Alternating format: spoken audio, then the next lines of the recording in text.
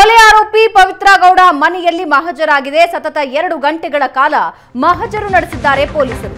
RR ನಗರದಲ್ಲಿರುವ ನಿವಾಸದಲ್ಲಿ ಪೊಲೀಸರಿಂದ ಮಹಜರಾಗಿದೆ. ಹತ್ಯೆ ನಡೆದ ದಿನ ಪವಿತ್ರ ಗೌಡ ಧರಿಸಿದ್ದ ಬಟ್ಟೆ. ಚಪ್ಪಲಿ, ಮಹಜರು, ಬಟ್ಟೆ ದುಪ್ಪಟ್ಟ ಶಾಲು ಎಲ್ಲಾನು ಜಪ್ತಿ ಮಾಡಿದ್ದಾರೆ.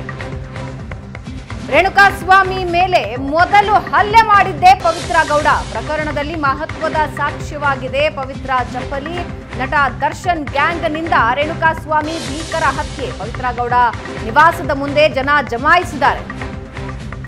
ಲೈವ್ ವಿಜುವಲ್ಸ್ ಅನ್ನ ನೀವು ನೋಡ್ತಾ ಇದ್ದೀರಾ? ಮಹಜರು ಮುಕ್ತಾಯ ಆಗಿದೆಯಾ ಪವಿತ್ರಗೌಡ ನಿವಾಸದಿಂದ ಲೈವ್ ವಿಜುವಲ್ಸ್, ಮಹಜರು ಮುಕ್ತಾಯ ಆಗಿ ಅಲ್ಲಿಂದ ವಾಹನ ಹೊರಡ್ತಾ ಇದೆ. ಪವಿತ್ರಗೌಡ ಮನೆಯಲ್ಲಿ ಮಹಜರು ನಡೆಸಲಾಗ್ತಾ ಇದೆ. ಕೃತ್ಯದ ದಿನ ಬಳಸಿದ್ದ ಶಾಲು, ಚಪ್ಪಲಿ, ಬಟ್ಟೆ ಎಲ್ಲವನ್ನು ಜಪ್ತಿ ಮಾಡಿಕೊಂಡಿದ್ದಾರೆ ಪೊಲೀಸರು. ಮಹಜರು ಮುಕ್ತಾಯ ಆಗಿದೆ ಈಗ. ಎರಡು ಗಂಟೆಗಳಿಂದ ಮಹಜರು ನಡೆಸ್ತಾ ಇದ್ರು. ಪವಿತ್ರ ಗೌಡ ಮೇಲೆ ಮೊದಲು ಹಲ್ಲೆ ಮಾಡಿದ್ದೆ.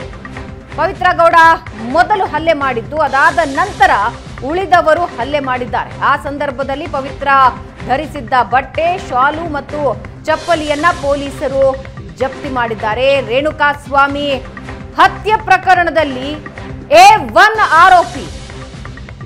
ಪವಿತ್ರ ಗೌಡ ಮನೆಯಲ್ಲಿ ಮಹಜರು ನಡೆಸಲಾಗ್ತಾ ಇದೆ.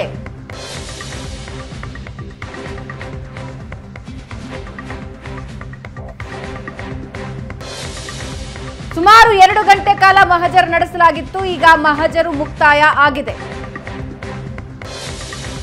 ದಿನದಿಂದ ದಿನಕ್ಕೆ ತನಿಖೆ ತೀವ್ರಗೊಳಿಸ್ತಾ ಇದ್ದಾರೆ. ಪೊಲೀಸರು ಇವತ್ತು ಪವಿತ್ರ ಗೌಡ ಮನೆಯಲ್ಲಿ ಸ್ಥಳ ಮಹಜರಿತ್ತು.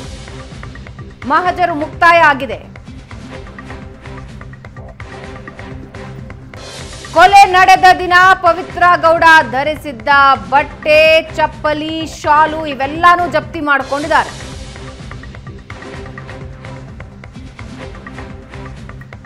ಬಗ್ಗೆ ಇನ್ನಷ್ಟು ಡೀಟೇಲ್ಸ್ ಕೊಡ್ತಾರೆ ನಮ್ಮ ಪ್ರತಿನಿಧಿ ಚೇತನ್ ಸಂಪರ್ಕದಲ್ಲಿದ್ದಾರೆ. ಚೇತನ್, ಸ್ಥಳ ಮಹಜರಿನ ವೇಳೆ ಏನೆಲ್ಲ ಜಪ್ತಿ ಮಾಡ್ಕೊಂಡಿದ್ದಾರೆ? ಏನೆಲ್ಲ ಇನ್ಫಾರ್ಮೇಶನ್ ಪವಿತ್ರ ಗೌಡ ಇಂದ ಪಡೆದಿದ್ದಾರೆ ಪೊಲೀಸರು? ಭಾವನಾ, ಇವಾಗ ಆಲ್ರೆಡಿ ಮಹಾಜರನ್ನ ಮುಗಿಸಿ ಪೊಲೀಸರು ಪವಿತ್ರ ಗೌಡ ಮತ್ತೆ ಪವನ್ ಇಬ್ಬರನ್ನು ಕೂಡ ಅನ್ನಪೂರ್ಣೇಶ್ವರಿ ನಗರ ಪೊಲೀಸ್ ಠಾಣೆಗೆ ಕರ್ಕೊಂಡು ಹೋಗ್ತಿರುವಂತದ್ದು. ಅಂದ್ರೆ ಮಹಾಜರ ವೇಳೆ ಸುಮಾರು ಎರಡು, ಎರಡೂವರೆ ಗಂಟೆ ಮಹಾಜರನ್ನ ಮಾಡಲಾಗಿತ್ತು. ಕೆಳಗಡೆ ನಿಮ್ಮ ಮನೆಯಲ್ಲಿ ಪವನ್ ವಾಸವಾಗಿದ್ದ, ಯಾಕಂದ್ರೆ ಪವಿತ್ರ ಗೌಡ ಮನೆಯಲ್ಲೇ ಕೆಲಸ ಮಾಡ್ಕೊಂಡು ಇದ್ದಿದ್ರಿಂದ ಆತನು ಕೂಡ ಕೆಳಗಡೆ ಮನೆಯಲ್ಲಿ ವಾಸವಾಗಿದ್ದ ಚಿಕ್ಕ ಮನೆಯಲ್ಲಿ ಪವಿತ್ರ ಗೌಡ ನಿವಾಸದಲ್ಲಿ ಆಕೆ ಅವತ್ತಿನ ದಿನ ಹುಟ್ಟಿದಂತಹ ಬಟ್ಟೆ ಮತ್ತೆ ದುಪ್ಪಟ್ಟ, ಶಾಲು ಚಪ್ಲಿ ಸೇರಿದಂತೆ ಅನೇಕ ವಸ್ತುಗಳನ್ನ ಪೊಲೀಸರು ಜಪ್ತಿ ಮಾಡಿರುವಂತದ್ದು. ಮತ್ತೆ ಅವರ ಮನೆಯಲ್ಲಿ ಇದ್ದಂತಹ ಒಂದು ಕಂಪ್ಯೂಟರ್ ಸಿಸ್ಟಮ್ ಏನಿದೆ, ಅದನ್ನು ಕೂಡ ಜಪ್ತಿ ಮಾಡಲಾಗಿದೆ. ಒಂದು ನಾಲ್ಕು ಬ್ಯಾಗ್ಗಳಲ್ಲಿ ವಸ್ತುಗಳನ್ನ ಪವನ್ ಮತ್ತೆ ಪವಿತ್ರಗೌಡ ವಾಸವಾಗಿದ್ರಲ್ಲ ಎರಡೂ ನಿವಾಸದಲ್ಲಿ ಕೂಡ ಜಪ್ತಿಯನ್ನ ಮಾಡಿರುವಂತದ್ದು. ಮಾಡಿ ಇದೀಗ ಫೊರೆನ್ಸಿಕ್ ಅಧಿಕಾರಿಗಳ ಒಂದು ತಂಡವು ಕೂಡ ತೆಗೆದುಕೊಂಡು ಹೋಗ್ತಿರುವಂತದ್ದು. ಅಲ್ಲಿ ಯಾವೆಲ್ಲ ಒಂದು ಸ್ಯಾಂಪಲ್ ಸಿಗುತ್ತೆ, ಮತ್ತೆ ರೇಣುಕಾ ಸ್ವಾಮಿಗೆ ಒಂದು ಏನು ಚಪ್ಪಲಿಯಿಂದ ಹಲ್ಲೆಯನ್ನ ಮಾಡಿದ್ದ ಮಾಡಿದ್ರು ಅಂತ ಏನು ಹೇಳಲಾಗ್ತಿತ್ತು, ಆ ಚಪ್ಪಲಿಯನ್ನು ಜಪ್ತಿ ಮಾಡಲಾಗಿದೆ. ಮತ್ತೆ ಅಲ್ಲೇನಾದ್ರು ಸ್ಯಾಂಪಲ್ಸ್ ಏನಾದ್ರು ಬ್ಲಡ್ ಸ್ಯಾಂಪಲ್ ಇರ್ಬೋದು, ಬೇರೆ ಏನಾದ್ರು ಕೂದಲು ಸ್ಯಾಂಪಲ್ ಈ ಈ ರೀತಿ ಯಾವ್ದಾದ್ರು ಸಿಗುತ್ತಾ ಅನ್ನೋದನ್ನು ಕೂಡ ಅಧಿಕಾರಿಗಳು ಒಂದು ಪರಿಶೀಲನೆಯನ್ನ ಮಾಡಿರುವಂತದ್ದು. ಸುಮಾರು ಎರಡೂವರೆ ಗಂಟೆಗೂ ಅಧಿಕ ಟೈಮ್ ಅಲ್ಲಿ ಒಂದು ಮಹಜರು ಪ್ರಕ್ರಿಯೆಯನ್ನ ನಡೆಸಿದ್ರು. ಇದಕ್ಕೆ ಕಂಪ್ಲೀಟ್ ಆಗಿದೆ. ಪವನ್ನ ಮತ್ತೆ ಪವಿತ್ರಗೌಡ ಇಬ್ಬರನ್ನು ಕೂಡ ಮತ್ತೆ ಒಂದು ಸ್ಟೇಷನ್ಗೆ ಕರ್ಕೊಂಡು ಪೊಲೀಸರು ಹೋಗ್ತಿರುವಂತದ್ದು ಭಾವನಾ.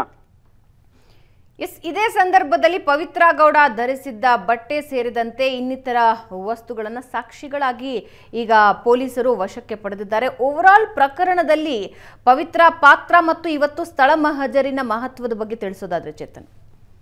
ಭಾವನಾ ಅಂದ್ರೆ ಇಡೀ ಒಂದು ಪ್ರಕರಣದಲ್ಲಿ ಏವನ್ನೇ ಪವಿತ್ರ ಗೌಡ. ಪವಿತ್ರ ಗೌಡ ಹೇಳಿದ್ದಕ್ಕೇನೆ ಈ ಎಲ್ಲ ಮರ್ಡರ್ ಆಗಿರುವಂತದ್ದು ಮೊದಲಿಗೆ ಈ ವಿಚಾರವನ್ನ ಈ ರೀತಿ ಒಬ್ಬ ಏನು ಆ, ರೇಣುಕಾ ಸ್ವಾಮಿ ಈ ರೀತಿ ಬೇರೆ ಒಂದು ನಂಬರ್ ಇಂದ ಬ್ಯಾಡ್ ಮೆಸೇಜ್ ಬರ್ತಾ ಇದೆ ನನಗೆ ಅಂತ ಅಂದ್ಬಿಟ್ಟು ಮೊದಲಿಗೆ ಒಂದು ಪವನ್ಗೆ ತಿಳಿಸಿರ್ತಾಳೆ. ಪವನ್ಗೆ ತಿಳಿಸಾದ್ಮೇಲೂ ಕೂಡ ದರ್ಶನ್ಗೆ ಹೇಳ್ಬೇಡ, ಈ ವಿಚಾರ ಅದು ದೊಡ್ಡ ಗಲಾಟೆ ಆಗುತ್ತೆ ಅಂತ. ಮತ್ತು ಪವಿತ್ರ ಗೌಡ ಮತ್ತೆ ಪವನ್ಗೆ ಹೇಳಿರುವಂತದ್ದು ಪವನ್ ಅದನ್ನ ದರ್ಶನ್ಗೆ ಹೇಳಿದಾಗ ಈ ಒಂದು ಎಲ್ಲಾ ಘಟನೆ ಆಗಿರುವಂತದ್ದು ಕಿಡ್ನಾಪ್ ಮಾಡಿ ಆನಂತರ ಮರ್ಡರ್ ಮಾಡಿರುವಂತದ್ದು ಪವಿತ್ರ ಗೌಡ ಎ ಒನ್ ಆಗಿರ್ತಾಳೆ, ಮತ್ತೆ ಇನ್ನೊಂದೇನಂತಂದ್ರೆ ಈ ಒಂದು ಪ್ರಕರಣದಲ್ಲಿ ಮೊದಲಿಗೆ ಆತನನ್ನ ಕರ್ಕೊಂಬಂದು ಹಲ್ಲೆಯನ್ನ ಮಾಡಿದಂತ ಸಂದರ್ಭದಲ್ಲಿ ಚಪ್ಲಿಯಿಂದ ಪವಿತ್ರ ಗೌಡ ಹಲ್ಲೆಯನ್ನ ಮಾಡಿರ್ತಾರೆ. ಹೀಗಾಗಿ ಆ ಒಂದು ಚಪ್ಲಿಯು ಕೂಡ ಮಹತ್ವದ ಸಾಕ್ಷಿ ಆಗುತ್ತೆ. ಮತ್ತೆ ಪವಿತ್ರ ಗೌಡ ಮನೆಯಲ್ಲಿ ಬೇರೆ ಇನ್ನಿತರ ಯಾವ್ದಾದ್ರು ಡಿವೈಸ್ಗಳಲ್ಲಿ ಬೇರೆ ಮೊಬೈಲ್ ಉಪಯೋಗಿಸಿದ್ರೆ ಅಥವಾ ಕಂಪ್ಯೂಟರ್ ಸಿಸ್ಟಮ್ ಅಲ್ಲಿ ಏನಾದ್ರು ಈ ಕುರಿತಂತೆ ಏನಾದ್ರು ಚಾರ್ಟ್ ಲಿಸ್ಟ್ ಇರ್ಬೋದು.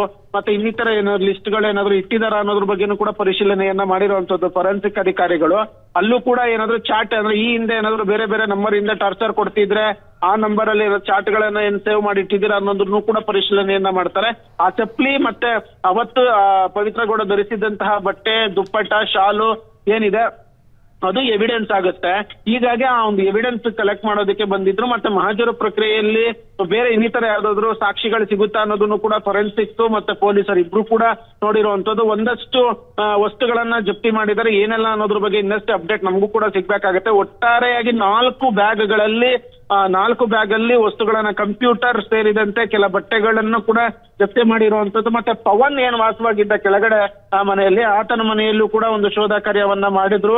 ಅಲ್ಲಿ ಏನೆಲ್ಲ ಒಂದು ಸಿಕ್ತು ಅದನ್ನು ಕೂಡ ಪೊಲೀಸರು ಜಪ್ತಿಯನ್ನ ಮಾಡಿರುವಂತದ್ದು ಒಟ್ಟಾರೆಯಾಗಿ ಆ ಒಂದು ಸಾಕ್ಷಿಗಳ ಪ್ರಭಾವ ಎಷ್ಟಿದೆ ಅಂತಂದ್ರೆ ಪ್ರಮುಖ ಸಾಕ್ಷಿ ಆಗುತ್ತೆ ಈ ಒಂದು ಪ್ರಕರಣಕ್ಕೆ. ಯಾಕಂದ್ರೆ ಬೇರೆ ಸಿಸ್ಟಮ್ ಇಂದ ಏನಾದ್ರು ಅವರು ಒಂದು ಚಾಟ್ ಗಳನ್ನ ಸೇವ್ ಮಾಡಿ ಇಟ್ಟಿದ್ರೆ ಅದು ಕೂಡ ಪ್ರಮುಖವಾದಂತಹ ಒಂದು ಸಾಕ್ಷ್ಯ ಆಗತ್ತೆ. ಹೀಗಾಗಿ ಇವತ್ತಿನ ಒಂದು ಮಹಜರ್ ಪ್ರಕ್ರಿಯೆ ನಡೆಯಿತು ಖುದ್ದು ಪವಿತ್ರ ಗೌಡ ಮತ್ತೆ ಪವನ್ ಇಬ್ಬರನ್ನು ಕೂಡ ಕರೆದುಕೊಂಡು ಬಂದು ಒಂದು ಮಹಜರನ್ನ ಪೊಲೀಸರು ಮಾಡಿರುವಂತದ್ದು ಭಾವನ. ಚೇತನ್ ಸಿಸಿಟಿವಿ ಫುಟೇಜ್ ಏನಾದ್ರೂ ಇದೆಯಾ? ಪವಿತ್ರ ಗೌಡ ಮನೆಗೆ ಸಿಸಿಟಿವಿ ಅಳವಡಿಕೆ ಆಗಿದೆಯಾ? ಅದರಿಂದ ಏನಾದ್ರೂ ಲಾಭಗಳಾಗಬಹುದಾ? ಅದ್ರ ಬಗ್ಗೆ ಏನಾದ್ರೂ ಪೊಲೀಸರು ಹೆಚ್ಚಿನ ಮಾಹಿತಿ ನೀಡಿದಾರಾ? ಎಸ್ ಭವನ, ಅಂದ್ರೆ ಸಿಸಿಟಿವಿ ಫುಟೇಜ್ ಏನ್ ಡಿವಿಆರ್ ಏನಿದೆ, ಆ ಒಂದು ಡಿವಿಆರ್ ಅನ್ನು ಕೂಡ ಜಪ್ತಿಯನ್ನ ಮಾಡಿರುವಂತದ್ದು ಅವತ್ತಿನ ದಿನ ದರ್ಶನ್ ಎಷ್ಟು ಗಂಟೆಗೆ ಪವಿತ್ರ ಗೌಡ ಮನೆಗೆ ಬಂದಿತ್ತು ಪವನ್ ಯಾವಾಗ ಪವಿತ್ರ ಗೌಡನನ್ನ ಕರೆದುಕೊಂಡು ಒಂದು, ಆ ಒಂದು ಶೆಡ್ ಹತ್ರ ಶೆಡ್ ಬಳಿ ಹೋದ. ಹೀಗೆ ನಾನಾ ಪ್ರಶ್ನೆಗಳಿಗೆ ಒಂದು ಉತ್ತರವನ್ನ ಪೊಲೀಸರು ಕಂಡುಕೊಳ್ಬೇಕಾಗತ್ತೆ. ಹೀಗಾಗಿ ಇಡೀ ಒಂದು ಸಿಸಿಟಿವಿ ಮತ್ತೆ ಇದು ಡಿವಿಆರ್ ಏನಿದೆ, ಆ ಒಂದು ಡಿವಿಆರ್ ಅನ್ನು ಕೂಡ ಪೊಲೀಸರು ಜಪ್ತಿ ಮಾಡಿರುವಂತದ್ದು ಮತ್ತೆ ಸಿಸ್ಟಮ್ ಪವಿತ್ರ ಕೂಡ ಮನೆಯಲ್ಲಿ ಇದ್ದಂತಹ ಒಂದು ಸಿಸ್ಟಮ್ ಏನಿದೆ, ಆ ಸಿಸ್ಟಮ್ ಅನ್ನು ಕೂಡ ಜಪ್ತಿ ಮಾಡಿ ಅದೆಲ್ಲವನ್ನು ಕೂಡ ತಗೊಂಡ್ಕೊಂಡು ಬಂದಿರುವಂತದ್ದು ಫೊರೆನ್ಸಿಕ್ ಅಧಿಕಾರಿಗಳ ಜೊತೆ ಈ ಎಲ್ಲ ಒಂದು ಕೆಲಸವನ್ನು ಮಾಡಿರುವಂತದ್ದು. ಮತ್ತೆ ಏನು, ಇಡೀ ಮೇಲ್ಗಡೆ ಮತ್ತೆ ಕೆಳಗಡೆ ಎರಡೂ ಮನೆಗೂ ಕೂಡ ಎಲ್ಲಾ ಕಡೆನೂ ಕೂಡ ಸಿಸಿಟಿವಿಯನ್ನ ಅಳವಡಿಸಿದ್ದಾರೆ. ಪ್ರಮುಖವಾಗಿ ದರ್ಶನ್ ಯಾವಾಗ ಬಂದ ಮತ್ತೆ ಪವನ್, ಯಾವಾಗ ಒಂದು ಪವಿತ್ರ ಗೌಡನ ಕರ್ಕೊಂಡೋದ್ರು ಏನು ಅನ್ನೋದ್ರ ಬಗ್ಗೆ ಕಂಪ್ಲೀಟ್ ಆಗಿ ಡಿಜಿಟಲ್ ಎವಿಡೆನ್ಸ್ ಬೇಕಾಗತ್ತೆ. ಹೀಗಾಗಿ ಆ ಒಂದು ಡಿಜಿಟಲ್ ಎವಿಡೆನ್ಸ್ ಅನ್ನು ಕೂಡ ಜಪ್ತಿ ಮಾಡಿರುವಂತದ್ದು ಡಿವಿಆರ್ ಮತ್ತೆ ಸಿಸ್ಟಮ್ ಎರಡನ್ನೂ ಕೂಡ ಪೊಲೀಸರು ಜಪ್ತಿ ಮಾಡಿ ತೆಗೆದುಕೊಂಡು ಹೋಗ್ತಿರುವಂತದ್ದು ಇಡೀ ಪ್ರಕರಣದಲ್ಲಿ ಪವನ್ನ ಪಾತ್ರ ಕೂಡ ಬಹಳ ಮುಖ್ಯ ಆಗಿದೆ. ಈತನ ಮನೆಯಲ್ಲಿ ಸರ್ಚ್ ಮಾಡಿದಾಗ ಏನಾದ್ರೂ ಸಿಕ್ಕಿದ್ಯಾ, ಚೇತನ್? ಅಂದ್ರೆ ಪವನ್ ಮನೆಯಲ್ಲಿ, ಪವನ್ ಏನಾದ್ರು ಬೇರೆ ಪವನ್ ಏನಾದ್ರು ಯೂಸ್ ಮಾಡ್ತೀನೋ ಏನೋ ಅನ್ನೋದ್ರ ಬಗ್ಗೆನೂ ಕೂಡ ಒಂದು ಪರಿಶೀಲನೆಯಲ್ಲಿ ತೊಡಗಿದ್ರು. ಅಂದ್ರೆ ಪವನ್ ಮನೆ ಮತ್ತೆ ಪವಿತ್ರ ಮನೆ ಇಬ್ರು ಮನೆಯಲ್ಲೂ ಕೂಡ ಸಾಕಷ್ಟು ವಸ್ತುಗಳು ಸಿಕ್ಕಿದೆ. ಮತ್ತೆ ಪವನ್ ಅವತ್ತಿನ ದಿನ ಯಾವ ಒಂದು ಬಟ್ಟೆ ತೊಟ್ಟಿದ್ದ, ಮತ್ತೆ ಯಾವ ಕಾರನ್ನ ಡ್ರೈವ್ ಮಾಡ್ದ, ಏನು ಅನ್ನೋದ್ರ ಬಗ್ಗೆನೂ ಕೂಡ ಪರಿಶೀಲನೆಯನ್ನ ಮಾಡಿರುವಂತದ್ದು ಕಾರುಗಳನ್ನು ಕೂಡ ಅಧಿಕಾರಿಗಳು ಪರಿಶೀಲನೆಯನ್ನ ಮಾಡಿರುವಂತದ್ದು ಅವರ ಮನೆಯಲ್ಲಿ ರೇಂಜ್ ರೋವರ್ ಮತ್ತೆ ಮಿನಿ ಕೂಪರ್ ಎರಡು ವಾಹನಗಳು ಇದ್ವು. ಅದೆಲ್ಲವನ್ನು ಕೂಡ ಅಧಿಕಾರಿಗಳು ಪರಿಶೀಲನೆಯನ್ನ ಮಾಡಿರುವಂತದ್ದು ಪವನ್ಗೆ ಕೆಳಗಡೆ ಒಂದು ಹೌಸ್ ಅಲ್ಲಿ ಔಟ್ ಹೌಸ್ ಅಲ್ಲಿ ಜಾಗ ಕೊಟ್ಟಿದ್ರು. ಹೀಗಾಗಿ ಆ ಒಂದು ಔಟ್ ಹೌಸ್ ಅನ್ನು ಕೂಡ ಪೊಲೀಸರು ಪರಿಶೀಲನೆ ಮಾಡಿ ಅಲ್ಲಿ ಕೂಡ ಒಂದಷ್ಟು ವಸ್ತುಗಳನ್ನ ಜಪ್ತಿ ಮಾಡಿದ್ದಾರೆ ಅನ್ನೋದ್ರ ಬಗ್ಗೆ ಮಾಹಿತಿ ಲಭ್ಯ ಆಗ್ತಾ ಇದೆ. ಏನು ಅನ್ನೋದು ಎಕ್ಸಾಕ್ಟ್ ಇನ್ನು ಕೂಡ ತಿಳಿದು ಬರ್ಬೇಕಿದೆ. ಸದ್ಯಕ್ಕೆ ಮನೆಯಲ್ಲಿ ಡಿವಿಆರ್ ಸಿಸ್ಟಮ್ಮು ದುಪ್ಪಟ್ಟ, ಬಟ್ಟೆ, ಚಪ್ಪಲಿ, ಹೀಗೆ ಇನ್ನು ಇತರೆ ವಸ್ತುಗಳನ್ನ ಪೊಲೀಸರು ಜಪ್ತಿ ಮಾಡಿರುವಂತದ್ದು ಭಾವನಾ. ಎಸ್ ವಾಪಸ್ ಬರ್ತೀನಿ. ಚೇತನ್, ಇನ್ನಷ್ಟು ಮಾಹಿತಿ ನಿಮ್ಮಿಂದ ಪಡೆದುಕೊಳ್ತೀನಿ.